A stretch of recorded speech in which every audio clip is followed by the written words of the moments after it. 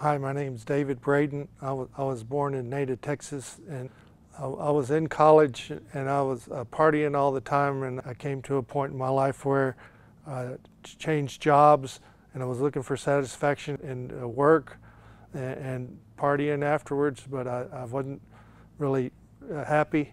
So uh, one day I sat down at my aunt's house and, and my aunt asked me if, if, if I knew Jesus. And then she asked me, do you accept him as your personal uh, Lord and Savior? And, and I said yes. And ever since then, uh, I start talking to him and praying to him. And then uh, now I have a, a, deep personal relationship with him. And I feel uh, like there's hope for the future. My name is David Braden, and Jesus Christ is my personal Savior.